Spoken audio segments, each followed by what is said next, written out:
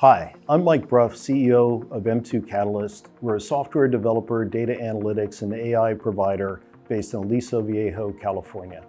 Our corporate mission is very simple, to help improve the mobile experience for all. Mobile broadband connectivity has become essential for improving the human condition. Remote work, online learning, telemedicine, running connected farm equipment, and much, much more, all dependent on having fast, reliable mobile connections. Those without mobile broadband are at a significant disadvantage economically, educationally, socially, and healthcare-wise. Unfortunately, everyone who has mobile device has encountered locations with bad signals and no signals. And as one would expect, the frequency of such occurrences increases in less developed countries and also within economically disadvantaged areas of even the most technologically developed countries in the world. You can learn more about the digital divide by reading the series of publication on M2's website covering both the unconnected and underconnected in urban markets and the most remote regions of the world.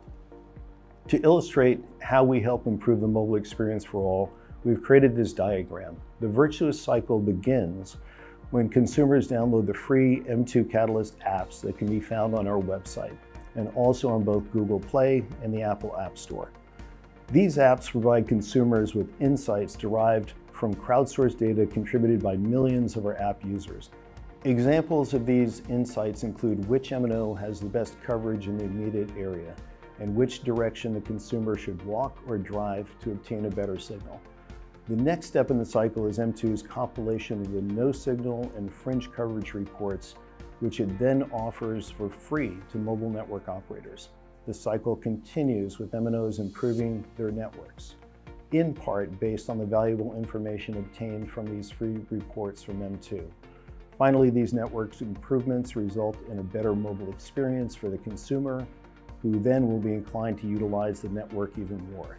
And the cycle of network improvement continues.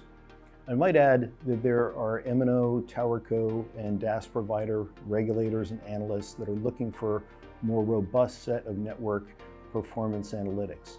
M2 also licenses our CrowdSite Intel dashboard and data for a fee to these customers.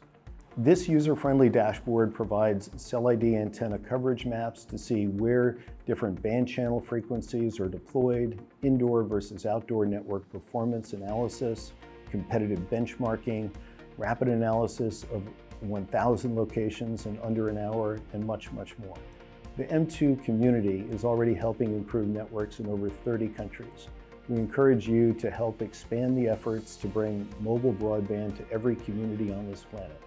Thank you for helping us in our mission to improve the mobile experience for all.